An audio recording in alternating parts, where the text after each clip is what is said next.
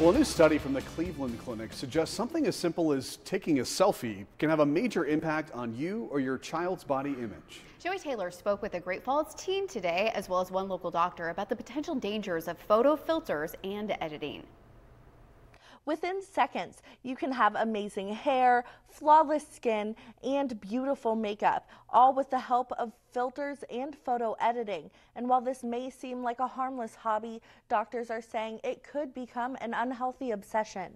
Reality's not. A camera is, you can't hide behind a screen in reality and you can't fake what you look like. Like you see all these girls with like edited photos, but you can't tell that they're edited and they feel like they make you feel so much like less and it it's hard, especially going to high school. Kaitie is a sophomore in high school, and she tells me when she started looking at social media, it brought her confidence down and made her feel like she needed to change the way she looked.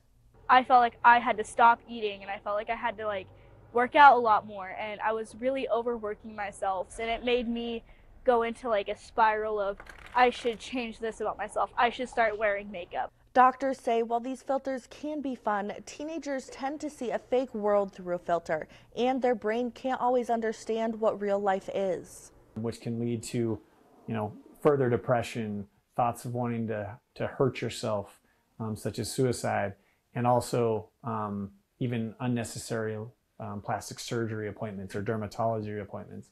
And that's what's happened to Kaitie. I guess it just makes you feel like you're a lot lesser and like most kids like myself self-harm when it comes to that when they don't feel like they're good enough.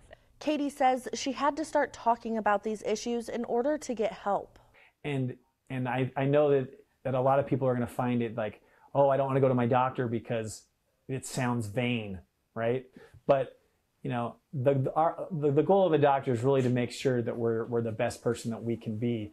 Some signs that this might be happening to your child include them constantly looking in the mirror or checking their weight. And you can read the full study on our website. In Great Falls, I'm Joee Taylor, Montana Right Now.